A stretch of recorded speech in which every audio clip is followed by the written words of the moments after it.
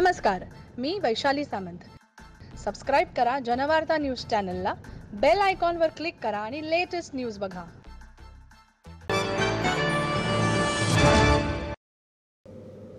नमस्कार जनवार्ता बातमीपत्रात मी ओंकार आपल्या सर्वांचे स्वागत करतो. पाहूयात आजच्या काही विशेष घडामोडी. रिझर्व्ह बँक ऑफ इंडियाचे माजी गव्हर्नर लवकरच लंडनच्या मध्यवर्ती बँकेचे गव्हर्नर होण्याची शक्यता आहे. राजन यांचे नाव. लंडनच्या गव्हर्नर पदाच्या शर्यतीत आहेत. बँक ऑफ इंग्लंड ही अतिशय प्रतिष्ठित संस्था मानली जाते. इंग्लंडमधील सर्व बँकांचे नियंत्रण या बँकेकडून केलं जातं. इंग्लंडच्या मध्यवर्ती बँकेनं नव्या गव्हर्नरचा शोध सुरू केला आहे. नवे गव्हर्नर पुढील वर्षापासून बँकेची सूत्र हाती घेतील. सध्या मार्क कॉन इंग्लंडच्या मध्यवर्ती बँकेचे गव्हर्नर म्हणून काम पाहत आहेत. त्यांचा कार्यकाळ जून दोन हजार एकोणीसला संपेल. कॉन यांनी दोन हजार तेरामध्ये मध्यवर्ती बँकेची धुरा खांद्यावर घेतली होती. कॉन यांच्या निमित्तानं गेल्या तीन दशकांमध्ये पहिल्यांदाच बँकेची जबाबदारी परदेशातील व्यक्तीकडे गेली. इंग्लंडचे अर्थमंत्री फिलिप हेमंड यांनी गव्हर्नर पदावर नव्या व्यक्तीची नियुक्ती करण्याचे संकेत दिले आहेत. कार्ड यांच्या उत्तराधिकाऱ्याचा शोध सुरू असून ती व्यक्ती परदेशातही असू शकते असं हेमन यांनी म्हणलं आहे. बँक ऑफ इंग्लंडच्या गव्हर्नरपदासाठी रघुराम राजन यांच्यासोबत मूळचे भारतीय असलेल्या सृष्टी वाडेरा देखील शर्यतीत आहेत. मेक्सिकोच्या मध्यवर्ती बँकेचे प्रमुख आणि बँक ऑफ इंटरनॅशनल सेटलमेंट्सचे नवे व्यवस्थापक ऑस्टिन कार्स्टन्स यांच्याऐवजी रिझर्व्ह बँक ऑफ इंडियाचे माजी गव्हर्नर रघुराम राजन यांना बँक ऑफ इंग्लंडची जबाबदारी दिली जाऊ शकते असं म्हणले जात आहे. नाणार प्रकल्पावरून राज्यातील राजकारण तापलेले असतानाच भाजपाचे बंडखोर आमदार आशिष देशमुख आज संध्याकाळी शिवसेना पक्षप्रमुख उद्धव ठाकरे यांची भेट घेणार आहेत. संध्याकाळी साडेसहाच्या सुमारास मातोश्रीवर ही भेट होण्याची शक्यता आहे. कोकणातील नाणार येथे नियोजित असलेल्या तेल शुद्धीकरण प्रकल्प स्थानिकांचा विरोध असल्यास हा प्रकल्प विदर्भाला द्यावा असे पत्र देशमुख यांनी मुख्यमंत्र्यांना लिहिले होते. त्या पार्श्वभूमीवर ही भेट होत असल्याने या भेटीकडे राजकीय वर्तुळाचे लक्ष लागले आहे.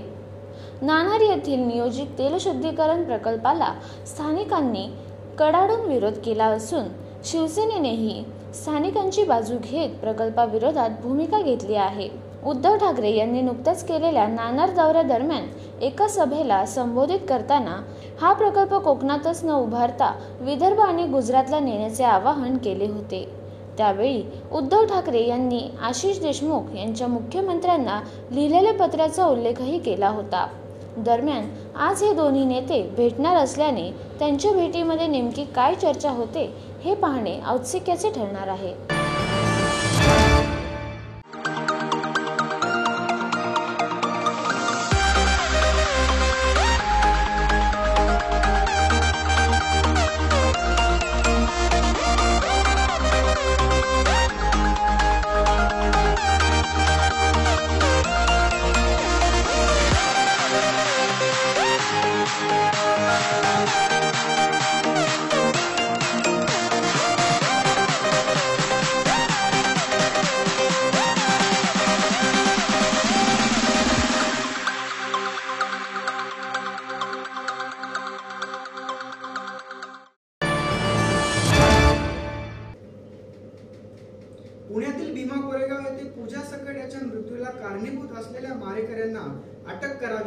अशी या घटनेमागील सत्य लोकांसमोर पोलिसांनी आणावे. या मागणीसाठी रिपब्लिकन पार्टी आठवले गटाने जिल्हाधिकारी कार्यालयासमोर तीव्र निर्देशन करण्यात आले. भीमा कोरेगाव येथे घडलेल्या दंगलीत दोन जानेवारीला संचारबंदी लागू असताना सकट कुटुंबाचे घर त्यांच्यासमोर जाळण्यात आले. त्यानंतर सुरेश सकट आणि कुटुंबियांना घर सोडून जाण्याची जीवे मारण्याची धमकी दिली जात होती. याबाबत गुन्हाही पोलीस स्टेशनने दाखल केला आहे. पण सर्व प्रकारचे संकट कुटुंबियांना मानसिक त्रास होत होता. शनिवारी अचानकपणे पूजा सकट घरातून बेपत्ता झाली. त्यानंतर तिचा शोध घेतल्यानंतर रविवारी सकाळी वाडा पुनर्वसन येथील येथील विहिरीत पूजाचा मृतदेह आढळून आला होता. या घटनेनंतर राज्यात तीव्र प्रतिक्रिया उमटू लागल्या. या विरोधात रिपब्लिकन पार्टी आठवले. यांच्या वतीने राज्यभरात निदर्शने आली. पुण्यातही निदर्शने करण्यात आली असून सरकारने सकट कुटुंबियांचे पुनर्वसन करावे त्यांना पोलीस संरक्षण देऊन आरोपींना कडक शिक्षा दिली जावी यासाठी मागणी करण्यात आल्या. येथील कुमारी पूजा सुरेश सकट या तरुणीचा भीमा कोरेगाव दंगली प्रकरणी मदत केल्याच्या संशयाने त्यांची हत्या घडविण्यात आली. असा आरोप पूजाचे चुलते आणि वडील यांनी आमच्याकडे केला आणि त्याच्या निषेधार्थ या ठिकाणी Republican Party of India Matang आघाडीच्या वतीनं तीव्र धरणे आंदोलनाचा कार्यक्रम करण्यात आलेला आहे. यामध्ये पूजा सकटच्या आत्महत्या नसून हत्येस जबाबदार असणाऱ्या नराधामांना तातडीनं सर्व आरोपींना नऊ आरोपींना अटक करण्यात यावी. आठवले आणि सुरेश सकट यांच्या कुटुंबियाचं राज्य शासनाने तातडीनं पुनर्वसन करावं. त्यांना मदत म्हणून शासनाने पाच एकर जागा द्यावी आणि सकट आणि आठवले कुटुंबियाचं पुणे लगत शहरात तातडीनं या ठिकाणी पुनर्वसन करावं अशी मागणी जिल्हाधिकाऱ्याकडे करण्यात आलेले आहे. पूजा सकटच्या वडिलांना वारंवार गावकऱ्याकडून धमक्या येत होत्या की भीमा कोरेगावच्या कार्यक्रमात जे राज्यातून आलेले लोक आहेत त्या लोकांना पाणी देणं मारामारी सुरू असताना त्या लोकांना मदत करणं रस्ता दाखवणं असं चांगलं काम या ठिकाणी सुरेश सकटनं केल्यामुळं सकट यांचं कुटुंबीय एक जानेवारीपासून तेथील जातीवादाच्या राडारावर होतं. आणि त्याचे या ठिकाणी वचपा काढण्यासाठी या लोकांनी हे घरामधलं वातावरण पाहून पूजा सकट यांना सातत्याने टेन्शन यायचं ती कन्या घाबरून जायची. या संदर्भात तिनं आठवले कुटुंबियाशी आठवलेताईंशी बोलणंही केलं होतं दुसऱ्या पुढील कुटुंबियाशी. त्याचे रेकॉर्डिंग त्यांच्याकडे उपलब्ध आहेत. सुरक्षेच्या कारणास्तव आम्ही ते बाहेर काढत नाही. परंतु निश्चितपणाने पूजा सकट यांची आत्महत्या नसून या ठिकाणी त्यांचा खून करण्यात आलेला आहे. आणि म्हणून या घटनेत जबाबदार असणाऱ्या सर्व लोकांवरती तीनशे दोन वय तीनशे दोननुसार कारवाई करण्यात यावी. त्याचप्रमाणे त्या कुटुंबाचं पुनर्वसन करण्यात यावं. अशा आशयाच्या मागण्या आज आम्ही शासनाकडे केलेल्या आहेत. तंत्रशुद्ध आपलातून फलंदाजी फटकेबाजी करणारा सचिन तेंडुलकर याच्या वाढदिवसानिमित्त पुण्यातील एका सचिन प्रेमी राजू गायकवाडने स्वतःजवळ असलेल्या सचिनचे विविध बावीस हजार संकलित केलेले फोटो नागरिकांना पाहण्यासाठी खुले केले. लहानपणापासून राजू गायकवाड यांना क्रिकेटची आवड होती. शालेय शिक्षण घेत असतानाच सचिनचे क्रिकेटमध्ये नुकतेच पदार्पण झाले होते. तेव्हापासून सचिनने विविध फोटो संकलित करण्याचा छंद राजू गायकवाड यांना लागला. आजही ते सचिनचे फोटो संकलित करत असतात. दरवर्षी चोवीस एप्रिलला तब्बल बावीस हजार फोटो नागरिकांना पाहण्यास खुला करतात. पुणे कॅम्प परिसरात राहणारे राजू गायकवाड गेली तीस वर्षे कॅन्टनमेंट बँकेत पिग्मी एजंट म्हणून काम करतात. त्यांच्यासोबत त्यांच्या दोन मुली एक मुलगा यांनी याची आवड असल्याने सचिनचे फोटो संकलित करण्यात राजू गायकवाड यांना त्या मदत करत असतात. पासूनच क्रिकेटची आवड होती. त्यामुळे आठ नऊ वर्ष असतानाच मी क्रिकेटचं चित्रसंग्रह गोळा करत होतो. त्यानुसार प्रत्येक प्लेअरचं करत असतो. सत्याऐंशी अठ्ठ्याऐंशी साली सचिन तेंडुलकरबद्दल खूप चर्चा चालू होती. तो चौदा वर्षाचा होता आणि खूप फेमस झाला होता. पूर्ण देशात चर्चा चालू होती. मग सत्याऐंशी अठ्ठ्याऐंशी सालीपासून त्याचं कलेक्शन चालू केलं. त्याच्यासाठी जे मॅगझिन येईन न्यूजपेपर येईन प्रत्येक फोटो त्याचा संग्रह करत गेलो. आजपर्यंत माझ्याकडे सचिन तेंडुलकरचे फक्त बावीस हजारपेक्षा जास्त छायाचित्र आहेत. आणि त्याचा संग्रह मी चांगल्या रीतीने पेस्टिंग करून त्याला डिझायनिंग करून अतिशय व्यवस्थित जपू जपणूक करत असतो. आणि सचिन तेंडुलकरचे मी आत्तापर्यंत दहा प्रदर्शन भरवले आहेत. पुणे पिंपरी चिंचवड मुंबई इथे. आणि दरवर्षी चो चोवीस एप्रिलला त्याचा वाढदिवस आम्ही सगळे घरचे मिळून साजरा करतो पहिलं तर सचिनना वाढदिवसाची खूप शुभ खूप खूप शुभेच्छा. आणि मी लहानपणापासून बघते पप्पा हे सगळं करतात ते सचिनसाठी म्हणजे खूप डेडिकेशन आहे त्यांचं. ह्या कामासाठी आणि फॅ खूप फॉलोईंग कर खूप फॉलो आहेत त्यांचे. आणि सचिन असा फॅमिलीसारखा एक मेंबरच झाला आहे माझ्या चाइल्डहूडपासून बघते आहे मी की हे सगळे पोस्टर्स वगैरे हे आमच्या ऑल अराऊंड असायचे वॉल्सवर वगैरे सगळे. सो हे लहानपणापासून बघते आहे मला वाटायचं की असे फॅमिली मेंबर्स आहे बट बर्थडे सेलिब्रेट करायला लागलो की एक फॅमिली मेंबरसारखाच झाला आहे तो. आणि त्यांनी इंडियाला खूप काही दिलं आहे आणि आम्ही पण त्याचे खूप आभारी आहोत. आणि खूप खूप शुभेच्छा and best of luck for future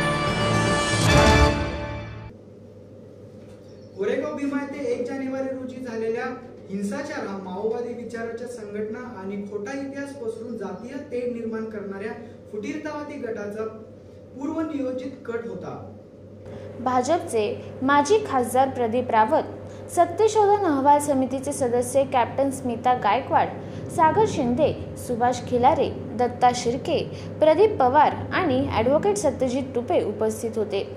श- शनिवार वाड्यावर एकतीस डिसेंबर रोजी झालेल्या एल्गार परिषदेचे आयोजक कबीर कला मंच रिपब्लिकन पॅन्थर या संशयित माओवादी गटांनी सखोल चौकशी करण्यात यावी. तसेच एल्गार परिषदेचे आयोजकांपैकी असलेल्या सुधीर ढवळे आणि हर्षाली पोद्दार हे एटीएसने अटक केलेल्या संशयित माओवाद्यांच्या संपर्कात असल्याचे निष्पन्न झाले आहे. त्यामुळे माओवाद्याचे एल्गार परिषदेचे आणि कोरेगाव भीमा हिंसाचाराचे काय लागे बांधे आहेत याचा सखोल तपास करण्यात यावा अशी मागणीही सत्यशोधन समितीने केली आहे.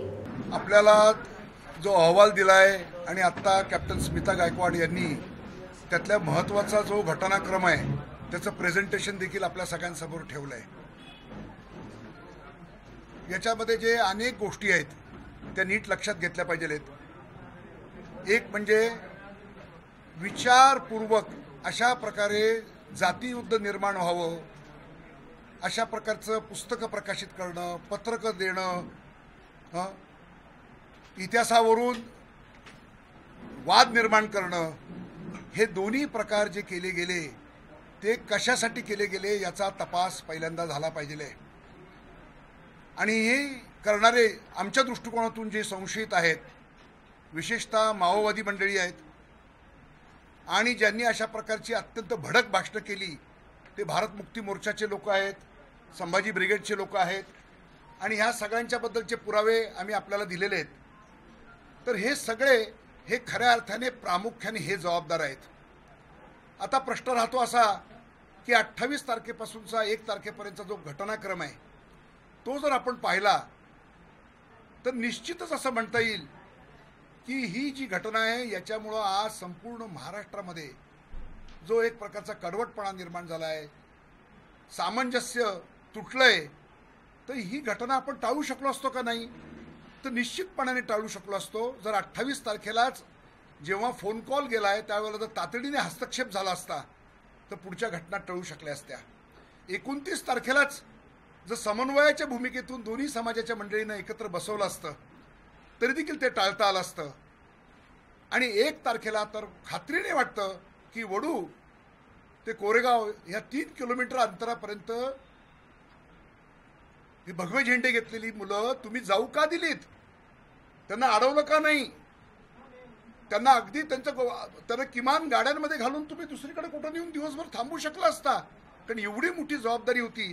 कारण शेवटी ज्या वेळेला लोकांची माथी भडकलेली असतात इतकं वेगळ्या वेगळ्या पद्धतीने मधल्या काळात चाललंय. हे एल्गार परिषदेमध्ये जे काही झालं मी आत्ताच सांगितलं तुम्हाला की शिवाजी महाराज खंडणीखोर आहेत. शिवाजी महाराज दलितांचे शत्रू आहेत. मी मी त्याच्यावरतीच बोलतोय ना. हे पोलिसांचं अपयश मी तुम्हाला सांगत असतानाच एक लक्षात घेतलं पाहिजे की ही घटना ही दंगल काही पोलिसांनी घडवली नाहीये. समाजाने लक्षात घेतलं पाहिजे की दंगल माओवाद्यांनी घडवली ह्या बाकीच्या लोकांनी घडवली पण हे घडत असताना त्याच्याबद्दलची जर पोलिसांनी वेळेवर सतर्क राहिले असते त्यांच्याकडे असलेल्या क्षमतांचा पूर्ण वापर केला असता तर मला निश्चित वाटतं की कोरेगाव भीमाची ही घटना टळू शकली असते. बीसीसी पुढे आयसीसी नमली भारताच्या वेळापत्रकांमध्ये केला बदल. पुढील वर्षी युनायटेड किंगडममध्ये रंगणाऱ्या विश्वचषक क्रिकेट स्पर्धेचे पडगम आत्ताच वाजू लागले आहे. आंतरराष्ट्रीय क्रिकेट परिषदेने कोलकाता येथे घेतलेल्या एका विशेष बैठकीमध्ये वेळापत्रकात माफक बदल करत स्पर्धेच्या स्वरूपाविषयी चर्चा केली. बैठकीत झालेल्या चर्चेनुसार आय सी सीने लोढा समितीच्या शिफारसींची गांभीर्याने विचार करत भारताच्या वेळापत्रकात बदल केला आहे. यानुसार भारतीय संघ दोन हजार एकोणीस सालच्या विश्वचषकाच्या मोहिमेची सुरुवात दोन जूनऐवजी चार जूनला दक्षिण आफ्रिकेविरुद्ध करेल. आय पी एल आणि आंतरराष्ट्रीय सामन्यांमध्ये किमान पंधरा दिवसांचे अंतर असावे या लोढा समितीच्या शिफारसीची दखल घेत आय सी सीने हा बदल केला आहे. पुढील वर्षी तीस मे ते चौदा जुलै दरम्यान युनायटेड किंगडम येथे विश्वचषक क्रिकेटचे थरार रंगेल. बी सी सी आयच्या एका वरिष्ठ अधिकाऱ्याने नाव न सांगण्याच्या अटीवर माहिती दिली की पुढील वर्षी एकोणतीस मार्च ते एकोणीस मे दरम्यान आय पी एल रंगेल. परंतु आम्हाला आंतरराष्ट्रीय सामन्यांमध्ये किमान पंधरा दिवसांचे अंतर ठेवावे लागेल आणि विश्वचषक स्पर्धा तीस मे पासून सुरू होईल. त्यामुळे पंधरा दिवसाचे अंतर ठेवण्यासाठी आम्ही चार जूनपासून सामने खेळू शकतो. दखल घेण्याची बाब म्हणजे याआधी स्टेडियम खचाखच भरावे यासाठी आय आय सीच्या मुख्य स्पर्धांची सुरुवात भारत वर्सेस पाकिस्तान या हाय व्होल्टेज सामन्याने केली जायची.